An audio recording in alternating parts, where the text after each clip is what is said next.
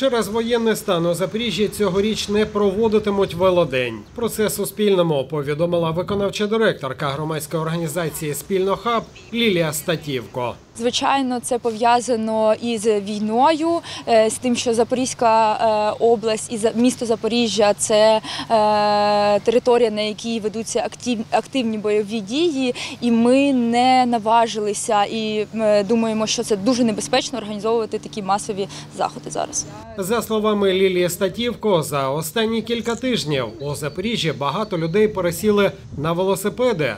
Тому питання безпеки руху на автошляхах міста набуває актуальності як ніколи. Ми бачимо, що ця кількість збільшується і через те, що в нас є проблеми з паливом. І так, е, безпека дорожнього руху це дуже актуальне питання. Проте також ми розуміємо, що зараз безпека цивільних жителів е, це більший пріоритет.